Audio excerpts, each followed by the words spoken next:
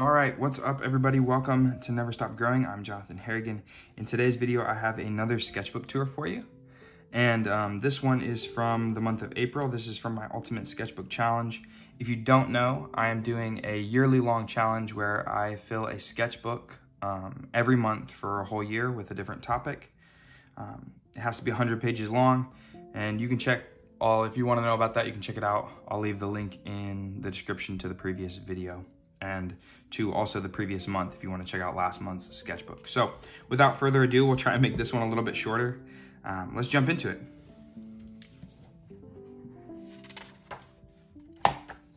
So this is the first page. Uh, I wish I could have done a lot more um, color in this, but I didn't. This is just kind of me exploring a character that I wanted to do um, from a from a story that I tell my kids about.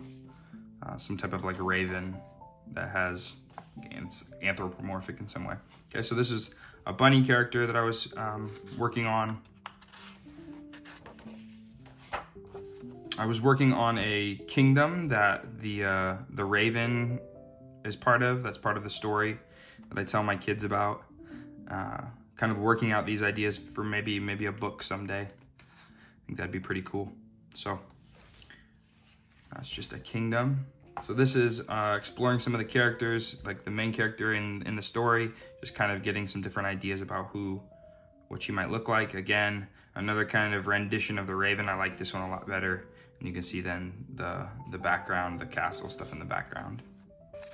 So, some more characters that I was kind of playing with just to figure out like shape, head shape, and body shape of the characters, of maybe some of the characters in the book or in the story. This one I kind of veered off. I thought, well, this might be what the character of a king would look like in this in this story. And um, a little bit of like a bird king. If, the, if there was a, a, king that was a bird, uh, it might look something like that. Um, this one was a story with a narrative, so kind of the idea of like the right the uh, the mice racing the turtles, and then the turtles tumbling over in the water and all uh, suddenly going like really, really fast. So uh, just kind of, you can see like the mice are losing control here.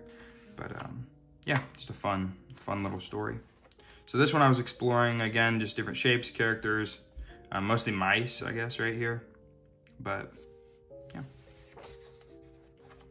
This one is a concept for a, a story where a pen, it's kind of like the like an ultimate like 3D pen where whatever you can draw and create, it will create it in, in three dimensions. Um, and there's a story that kind of goes around these pens and there are different types that um, are some are better than others and so, yeah, so on. But a cool, a cool story that I have kind of around that. And so I was just fleshing out some of those ideas, um, some more about the pens and maybe how that they would work to, to create things.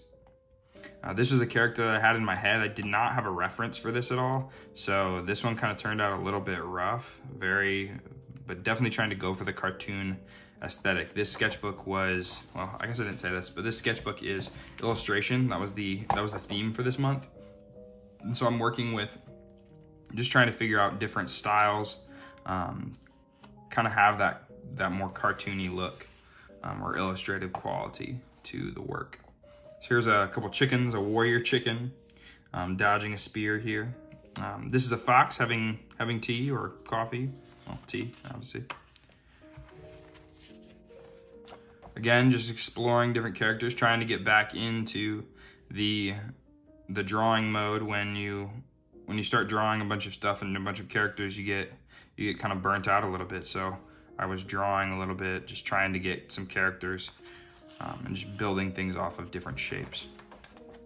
So again, still pushing myself back into the drawing after maybe a little bit of a time away. I started building these faces out of these shapes. I would just take shapes and then build faces out of them um, and create them into something.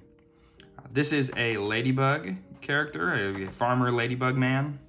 Um, my wife asked me to do a character that was a ladybug farmer, so I did this guy. Um, and this is the hose spraying the water out. Um, and I think that there'll be some kind of with the, uh, in the same vein as the the mice and the turtles, this guy will have a background story.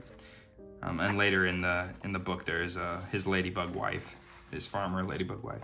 My son asked me to do um, an alien, so I created this kind of comic about aliens on Mars or wherever they're at, and um, you know they're talking about humans as as foreign creatures, you know, and how crazy and weird and backwards they are, and that they'll never make it out. And then of course there's an there's one landing there. I wanted to do a lot more um, ink in this one and a lot more color. I just did not have the time. Uh, this one I had to cram into a lot of, uh, to a few weeks because I had to try and get everything done in a month. And so I did a little bit of pen and a little bit of, and mostly just pencil. I didn't do any really color in it. I really wanted to. So I think I'm going to come back and end up coloring some of these in and refining some of these. But again, just kind of the idea of fleshing out your ideas in your sketchbook. Um, so this is an kind of an enchanted wood where this kid is warming himself with a fire and we have all these different creatures kind of staring in. This was the combination of a turtle and a bird where this guy rides him. I thought that was just a fun idea. Ended up doing that. This one is where I started exploring um, robots and I just wanted to play around with mechs or robots. So just taking different shapes and putting them together and uh, creating the, the basic silhouette of what a robot might look like. Um, I like them. I think those are fun. My son made, said this kind of looks like a T-Rex. I think that's true. Um, right here, I'm playing with different knights. So thinking about Back to the Kingdom and the Raven and um, that whole story, kind of playing around with what, what knights might look like in, in that kingdom or in that world. And you can see that some of these pages have some, some blank spaces, um, and that's okay. That is kind of part of it, you know, just kind of filling the pages and making sure that uh, you're getting your ideas out. So uh, this is somebody who is getting pulled by a fox. Um, I wasn't quite sure how I wanted this character to look, but um, I decided with kind of to go some to go kind of more uh, north, I guess, if you will. I don't know. So that was that one, playing around with that. I like the way the fox turned out a lot. Um, this one, I was playing around with more of the cartoon style. I had a couple illustrators that I really liked that I saw, and I wanted to kind of emulate their style. So I, I um, while looking up those, I, I played around with some different, different shapes and some different scenes. So this was from that. And then this one was a frog that is a soldier, a soldier frog, which I thought was fun. Um, this is back to the castle and kind of a smaller, closer view of the house that's over the bridge where the raven kind of um, comes and takes over. These are, again, more robots playing with different ideas of robots and mechs and kind of just taking different shapes and, and playing with those about, oh, what would that look like if it was a robot? This one is a flying machine, and this is one where I took um, one thing and I ended up using two pages. That was some one of the ways that I try and get some of, uh, I, I try and fill the sketchbook a little bit quicker is by using spreads. They, they seem to fill the sketchbook a little quicker, but I played around with this flying spaceship. I like that. Another castle, playing around with the idea of uh, places and locations and settings. Um, this one is a castle that is in the middle of a bay and all the ships come through here and they dock at the ports. It's kind of a little harder to see without color and um, an outline in, in, in pen, but yeah. So this one, I started getting really burnt out on drawing things. I kind of, after a while, you run out of ideas once you're like 40, 50 pages in. You start running out of ideas to do. So I started taking these shapes um, and there is an artist called, I'm going to butcher his name, Leonard Furberg. I don't know. You can you can look him up. I'll put his name in the description below. But he, I saw one of his pieces where he had this monkey that was like crammed into a box, and I thought, oh, that's a really cool idea. So I took these shapes and I started making um, animals and characters that are stuck within the limitations of these boxes or these shapes. Um, so we have obviously elephants and birds. Um, this one was a monkey um, that I got major inspiration from online. Um, this one was a character, like a karate character, just a guy who's stuffed in a box. Um, another bird, just playing around with those box shapes. I really came to enjoy these a lot. Um, this is the Ladybug Lady. So this is the farmer lady, um, his wife, or the farmer man, his wife. The Ladybug couple from what my wife told me I should do. It's hard to tell. I think for this one, I need to add antennas. I forgot about that, but you can kind of see like her back shell, but it's hard while, while also adding the, uh, the features. So again, more characters, playing around with characters in a book. Um, some just different character shapes, playing around with really big ones and, and old men and tall and, and little boys. So um, this one right here is an original character. So this is Dina. And this is an original character that I made for my kids. I tell them stories about Dina. And so this is just a little bit more of fleshing out that kind of character and maybe what she would look like. Um, for this one, I took like a general shape and I started tweaking it so this kind of like boxy shape. I did that for the girl and then I did it for the old man and for the woman and I just started changing features and I really enjoyed this. This one actually I, I found, I thought this was really successful. I thought it was really neat and clean. Um, and there was a little bit more of like a family unit to this one.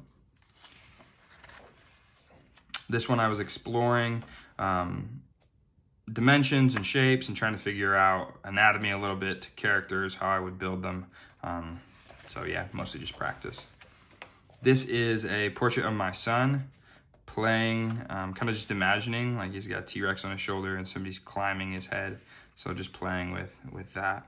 Um, it ended up being a little bit longer than I wanted it to be. He doesn't really, he doesn't have maybe that big of a head, but um, the rest are also my children as well. So just kind of cartoonifying my kids and seeing if I could do that. So that was a fun, fun exercise. It was a lot harder than I thought it was going to be. So um, this one is a, an idea that I got after the style or the style and painting of, again, I'm going to butcher his name, but David Bonesi. Um, he does these images where uh, he's pulling away a curtain from one scene to another, and I thought that was really cool and um, a really good way of depicting like Christ on the cross, um, where one one scene is pulled away into and reveals another, Jesus kind of being the gateway to eternal life. So um, this one again, I go back to working out these characters in boxes and um, yeah, or other shapes. I tried circles here. Um, so I really love this. This is a really, I've, I've come to really think they're really fun, really fun things to practice. So again, um, this was an ostrich and then I tried to do a guy's face here, um, a tiger and a boar. Okay. And then I started exploring flowers. So like I, I had done a lot of characters in illustration and I did a lot of land, like um, places and landscapes and cities, but I wanted to do these flowers um, and different types of plants, like what kind of different plants would fit into uh, an imaginary world or an illustrated world. Um, and I know that a lot of people have different different takes on this, and so this is something maybe to explore. I think this is honestly its own thing in and of itself, but I wanted to play around with these different ideas, and so I made this um, this mushroom that turns into a flower that also kind of smolders this uh, this either heat or noxious gas out of its pores. And so um, kind of like dangerously beautiful in a way. And I like that a lot. I think that's a cool idea. Uh, this one I was experimenting, playing around with characters, um, anthropomorphic characters, so like dogs and um, creatures like that. So this is a wiener dog that is maybe a bachelor. So I was playing, then I had these ideas for characters that were bears and um, like, like animals that were like warrior characters. So I didn't end up finishing this guy. I didn't have the time to finish him before the end of the month, but I kind of got the gist of his him down and this was the the bear. Um, and I really like these characters. I'm I'm pretty proud of them. So I went back to kind of this idea of like mapping it out on one page and then finishing it on another. So this is a bird with a sword, you know, kind of guardians of the wood or guardians of, of animal kind. Um, the rabbit, the rabbit archer, I think is really cool. Uh, the mouse is also a cool one. I really like this one. Um, these ones I I had a lot of fun drawing. These are kind of the drawings that I got like really interested in. The fox, again, I like I like foxes as, as characters. It's fun. The boar, I thought the boar turned out pretty good too. Um, yeah. This one, I kind of, this is where kind of started to digress. I don't love the ox as much, um, but I wanted to try the ox. And then this one was, I had an idea for this one in my head, but it just did not play out the way I had hoped or planned. And so it looks kind of creepy, like super creepy and rough. But uh, then back to boxes again. So again, yeah, like I said, I really liked these. These are a really fun way to kind of fill space when you don't really know what to do is just to put a box down and say, okay, I'm gonna try and fill it with either an animal or a character or something, you know. So a deer, you know, whale, just trying to get a little bit more outlandish each each time. So then I started getting toward the end, and honestly, like the rest of these, they are. Um, I was kind of having to move pretty fast, so I decided to end up using both both pages to make spreads. So I decided to make like a seascape and just kind of figure out like maybe part part of it was water and part of it was sky, and we had this boat that's that's toppling. Um, so just kind of playing around with something like that. So this was a city that was floating, and I really I I like this concept of just having like fleshed it out a ton, but I like these little pods of like cities that are kind of connected, um, and they're all like floating in the air. So I played with that a little bit. Uh, ships that are flying. I think this is a really fun concept for a story or a book. Um, so yeah, playing around with that. Uh, so again, playing around with landscape or cityscape and this idea of like a house and a home that is in a tree and then you kind of come down this path down the tree and you cross over the bridge to this this castle and they're on either sides of this this ravine because of fun this was just like a jungle scene kind of playing around with maybe the mystery of a, of a mysterious, dangerous jungle, and this is the opening of a cave. I think it's a little bit hard to tell, um, but I really like this one. I think that it's cool. So maybe a boat would come up and dock here, and then they would climb up into this cave. Uh, again, just playing with playing with how a hand would hold things. I had a really hard time with hands. That's something I realized when I was doing this, is that I need to work on like my hands and feet, what those look like for different characters. Um, so I was playing around, I was practicing what a hand would look like, maybe for a character with uh, with a paw, or um, and then again I worked with like a semi-robot boy, and then another robot. I wanted to do something with a robot. This one again, so now we're in like the last stretch, and this one I had like zero time. So these last couple spreads are really just me like hammering through um, sketches. I had to do like quick sketches of these. So the last few ones are really just me trying to fill it up before the end. Uh, and that is the reflection on time management.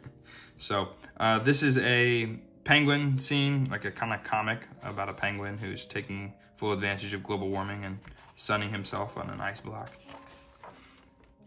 Um, this is a gumdrop boy. I like that character. It turned out much better than I thought it would, especially for like a super quick sketch. Uh, this is somebody climbing a sunflower. And this kind of almost looks like a whip, but it's supposed to be a leaf. And then this was just a city, a city with a car, um, and then a person walking. But again, I was running out of time, so this was kind of done in the period of like a couple minutes. And then it was kind of like, okay, we'll move on. And so my last and final spread um, is just of a tree with some some fruit on it. Um, yeah, so that ends the sketchbook. So that is the second sketchbook in the in my ultimate sketchbook challenge. And um, yeah, thanks so much for watching, guys. Stay tuned. If you want to see the other videos, the other sketchbooks, you can check them out. I'll have them linked below. Um, yeah, and I'll, if you want to know more about the sketchbook challenge or if you want to be a part of the sketchbook challenge, you can check it out on my website. You can see what's coming up next. Uh, you can see actually what's coming up for each month. This one again was illustration, so I took most of the drawings and kind of gave them this story quality. That was the the hope, or like a cartoonish quality to them. Um, and fleshed out some different ideas for stories. But I had a lot of fun doing this, and I'm really proud of, of this sketchbook. I will end up coming back in and working out some of those different ideas with color and with pen. But if you want to see last month's sketchbook, which was the first one for hand lettering, you can check it out. I'll have it linked in the description below. And if you want to figure out more about the sketchbook, I'll have the actual like video linked in the description below and you can watch the playlist or you can check it out on our website. I'll have that linked below as well. Thank you so much for watching. Have a wonderful day. Keep at it. Never stop growing and I'll see you guys in the next video. Peace.